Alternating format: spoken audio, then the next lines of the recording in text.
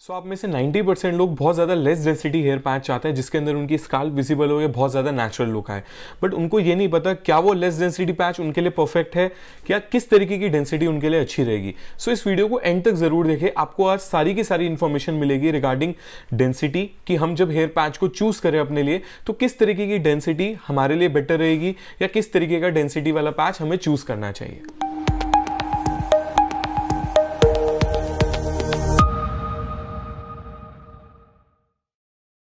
सो so, सबसे पहले बात करते हैं कितनी तरीके की डेंसिटी अवेलेबल होती है हेयर पैचेस के लिए। सो मेजरली थ्री तरीके की डेंसिटी अवेलेबल होती है low density medium density and high density सबसे इंपॉर्टेंट चीज़ है आपके खुद के ओरिजिनल बाल। देखिए जो भी हम हेयर पैच को लगाएँगे वो एट द एंड आपके ओरिजिनल बालों के साथ मर्ज होना है। सो so, आपके ओरिजिनल बालों की डेंसिटी किस तरीके की है उस हिसाब से आप डिसाइड कर सकते हैं कि कौन सी डेंसिटी का मैं पैच लगवाऊं। अगर आपके खुद के ओरिजिनल बाल बहुत ज़्यादा हैवी डेंसिटी में है तो आप मीडियम टू हैवी डेंसिटी में जाइए वो प्रॉपर तरीके से मर्ज होगा। अब आप सपोज़ करिए आपकी खुद के ओरिजिनल बाल तो बहुत ज़्यादा हैवी डेंसिटी में है। एंड अगर आप कहेंगे कि मुझे एक बहुत ज़्यादा लाइट डेंसिटी पैच में जाना है तो वो प्रॉपर तरीके से मर्ज नहीं होगा। तो आप अगर कहीं से भी हेयर पैच लगवा रहे हैं, सबसे इंपॉर्टेंट चीज़ जिस चीज़ का आपको ध्यान रखना है कि आपके खुद के ओरिजिनल बालों की डेंसिटी क्या है बिकॉज़ एट द एंड वो पैच आपके ओरिजिनल बालों के साथ मर्ज होगा। 90 परसेंट लोगों की सबसे ज़्यादा डिमांड रहती है कि वो लेस डेंसिटी पैच के अंदर जाएँ बिकॉज़ हेड के ऊपर बाल नहीं होते एंड सडनली एक साथ बहुत ज़्यादा बाल आ जाएँगे तो हर किसी को ऑड लगता है। एंड ये मेरा भी सजेशन रहता है कि आप बहुत ज़्यादा ओवर डेंसिटी पैच मत लगवाइए। अगर आप लगवाना चाहते हैं तो सिर्फ़ तब लगवाइए, या तो आप हमेशा से ये बहुत ज़्यादा हैवी डेंसिटी लुक रखते थे, या आपको बहुत ज़्यादा पफी लुक रखना है। तो मैं आपको हैवी डेंसिटी का पैच का एक रिकमेंडेशन दे सकता हूँ। अदरवाइज़ मेरा जो नाइन्टी परसेंट लोगों को एक सजेशन रहता है, वो रहता है हमेशा मीडियम डेंसिटी का। ना तो आप बहुत ज़्यादा ओवर लाइट डेंसिटी लीजिए, ना आप बहुत ज़्यादा हैवी डेंसिटी लीजिए बिकॉज़ मीडियम डेंसिटी का जो पैच होगा उसके अंदर लाइफ भी अच्छी रहेगी बहुत ज़्यादा ओवर कॉस्टली भी नहीं आएगा स्काल भी कहीं ना कहीं विजिबल हो जाता है।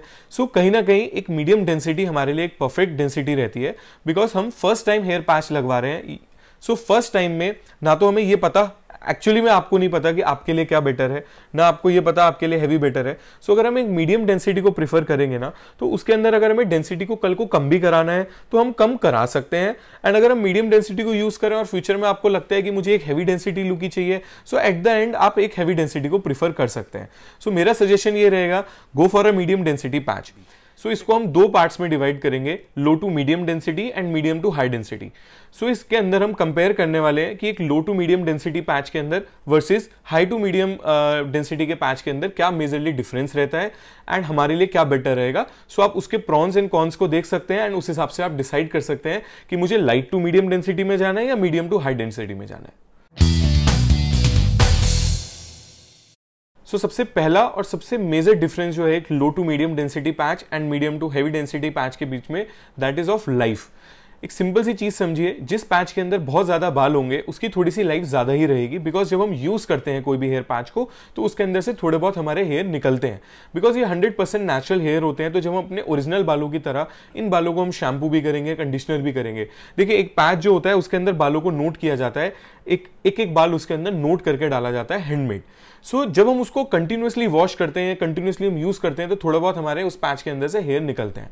सो so, अगर हमारा पैच होगा लाइट टू मीडियम डेंसिटी में सो so कहीं ना कहीं उसकी लाइफ थोड़ी बहुत कम रहेगी as compared to medium and medium to high density so अगर आपकी प्रेफरेंस है कि मेरे को ऐसा पैच चाहिए जिसकी लाइफ बहुत ज़्यादा हो, जिसकी लाइफ साल भर हो, डेढ़ साल हो, दो साल हो तो प्रीफर करिए कि आप थोड़ा हैवी डेंसिटी पैच के अंदर जाइए बिकॉज़ यूज़ करते करते थोड़े बहुत उसके अंदर से हेयर निकलेंगे।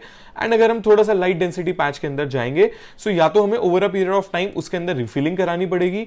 अदरवाइज़ कहीं ना कहीं उसकी लाइफ थोड़ी बहुत कम रहने वाली है।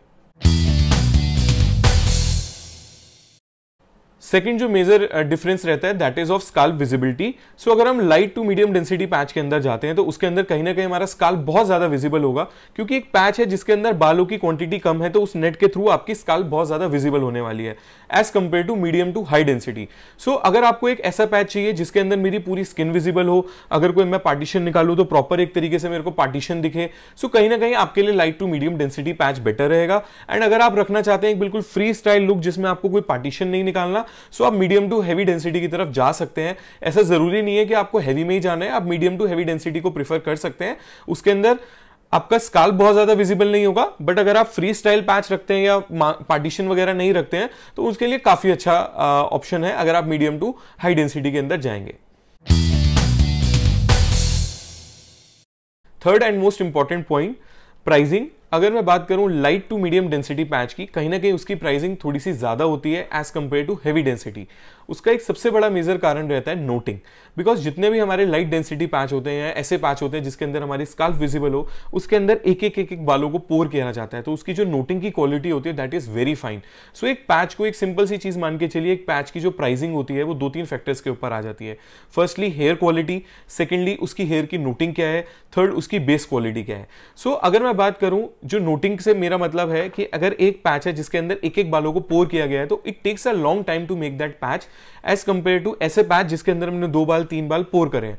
सो so, कहीं ना कहीं उसमें प्राइसिंग का फ़र्क आ जाता है। तो अगर मैं बात करूँ लाइट टू मीडियम डेंसिटी उसकी प्राइसिंग आपको लिटिल बिट हाई मिलेगी as compare to heavy density and यहाँ पे एक सबसे बड़ा आप लोगों के मन में क्वेश्चन आएगा कि यार पैच की लाइफ भी कम है और उसका प्राइस भी ज़्यादा है। तो यस जिस चीज़ को हमें बनाने में बहुत ज़्यादा टाइम लगेगा या बहुत ज़्यादा रिफाइन तरीके से वो बनेगी। बिकॉज़ जो लाइट डेंसिटी पैच होते हैं उनके अंदर पूरी स्काल्प विजिबल होती है तो उसमें बिल्कुल नोटिंग इस तरीके से करी जाती है कि आपकी स्काल्प के अंदर से वो एक एक बाल आ रहा है। सो so, कहीं ना कहीं उनकी प्राइसिंग लिटिल बिट हाई होती है। सो so, अगर आप एक बहुत ज़्यादा हैवी पैच या हाई कॉस्टली पैच नहीं जाना चाहते हैं या आप चाहते हैं कि मैं पहले एक बार स्टार्ट करूँ तो आप मीडियम टू हाई डेंसिटी से भी स्टार्ट कर सकते हैं। बट अगर आप एक अच्छी क्वालिटी के लाइट डेंसिटी पैच के अंदर जाएँगे तो कहीं ना कहीं लिटिल बिट आपका प्राइस थोड़ा हैवी होगा।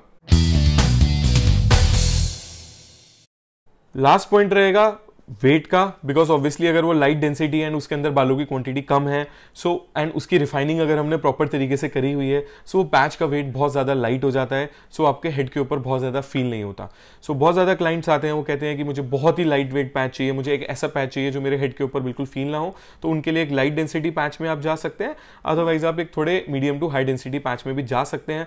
बहुत ज़्यादा मेजर फ़र्क नहीं रहता है वेट का बट येस अगर आप एक बार लाइट डेंसिटी को यूज़ करना स्टार्ट कर देंगे तो कहीं ना कहीं हैवी डेंसिटी आपको लिटिल बिट वेट लगेगा। बट अगर आप फ़र्स्ट टाइम यूज़ कर रहे हैं सो आप चाहे लेस डेंसिटी में चाहिए चाहे आप हैवी डेंसिटी में चाहिए आपको वेट का बहुत ज़्यादा फ़र्क नहीं लगेगा। बिकॉज़ ये एक सिर्फ़ एक जाली के अंदर ये बालों को पोर किया जाता है एंड पैच के अंदर भी फिर कटिंग होती है। सो so, इसको आप ऐसे समझ लीजिए जो लोग कैप पहनते हैं उनको तो बिल्कुल पैच महसूस भी नहीं होता।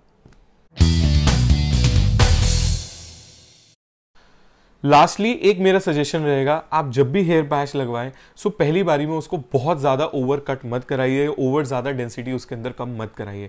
होता क्या है कि अभी हमारे हेड के ऊपर बाल नहीं है, चाहे हम इसके ऊपर सडनली पाँच परसेंट या इवन दस परसेंट बाल भी अगर आपके हेड के ऊपर सडनली रखेंगे ना तो वो हमेशा आपको ज़्यादा ही लगने वाला है। ये चीज़ मेरे पास हमेशा होती है चाहे क्लाइंट वो लेस डेंसिटी पैच को प्रीफर करे, चाहे वो मीडियम डेंसिटी को प्रीफर करे या वो हैवी डेंसिटी को प्रीफर करे, उस क्लाइंट को हमेशा डेंसिटी बहुत ज़्यादा ही लगती है बिकॉज़ वो एकदम से कोई चीज़ आपके हेड के ऊपर आई है।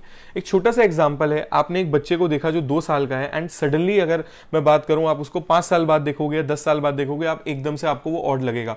एंड वही बच्चा अगर आपके सामने ग्रो होगा तो आपको वो नहीं ऑड लगेगा। तो क्या होता है, जब हम हेयर पैच को लगवा, लगाते हैं तो वो एकदम से हमारी जितना बाल्ड एरिया है, उस एरिया को कवर अप करता है। धीरे धीरे एक एक करके बालों को कवर अप नहीं करता तो हमेशा हमें डेंसिटी ज़्यादा लगती है। एंड होता क्या है कि जब हम हेयर पैच को लगवाते हैं, लगवाने के बाद वो आपकी हेड की शेप लेता है। देखिए, जब हम कोई भी हेयर पैच को बना रहे हैं, उसके अंदर कोई हेयर स्टाइल नहीं है। अभी आप स्क्रीन पर भी देख सकते हैं, ये पैच है, इसके अंदर कोई हेयर स्टाइल नहीं बना हुआ। तो हम इसको हेयर स्टाइल को बनाएँगे। जब हम किसी भी हेयर स्टाइल को बनाते हैं तो वो आपके हेड के ऊपर प्रॉपर तरीके से सेट होने में टाइम लेता है। आपने कभी ये चीज़ नोटिस करी है कि अगर आपने एक पार्टीशन बनाया हुआ है एंड आप सडनली पार्टीशन को चेंज करेंगे तो बालों के अंदर बहुत ज़्यादा बाउंस आ जाता है। सो so, ऐसे ही होता है कि जब भी हम हेयर पैच को लगाते हैं तो आपके हेड के ऊपर जब हम उसको सेट करते हैं तो लिटिल बिट वो बाउंसीनेस रहता है वो आपकी हेड की शेप के अकॉर्डिंगली पूरा सेटल नहीं होता। सो so, ये मेरा एक आपसे सजेशन है। आपको एक यू नो रिक्वेस्ट है आपसे कि आप जब भी कहीं से भी हेयर पैच लगवाए, बहुत ज़्यादा डेंसिटी को कम मत कराइए बिकॉज़ आप डेंसिटी को कम कराना लेंथ को कम कराना कभी भी करा सकते हो बट एक बार अगर आपने डेंसिटी कम करा दी, एक बार आपने बालों की लेंथ को बहुत ज़्यादा छोटा करा दिया तो आप उसको यू नो इंक्रीज नहीं कर सकते। तो इस चीज़ का आप ध्यान रखिए। बाकी आपकी ओरिजिनल बालों की डेंसिटी किस तरीके से है, या आपकी यू नो अगर आपको लेस डेंसिटी में जाना है तो उसके क्या बेनिफिट्स हैं हैवी डेंसिटी में जाना है तो उसके क्या ड्रॉबैक्स हैं, वो सारी चीज़ें मैंने आपको इस वीडियो के अंदर बताई है। आई होप आपको ये वीडियो अच्छी लगी हो। एंड यस इस चैनल को भी सब्सक्राइब कर लीजिए। फटाफट हंड्रेड के कराइए। काफ़ी सारे गिव अवेज एंड काफ़ी सारी चीज़ें आ रही हैं। Thank you so much for watching this video and इस वीडियो को लाइक भी ज़रूर कर दीजिएगा। एंड आपके मन में अगर अभी भी कोई क्वेश्चन है या कोई डाउट है तो उसको कमेंट भी कर दीजिए। मैं कोशिश करूँगा कि मैं उसको नेक्स्ट वीडियो के अंदर कवर अप करूँ।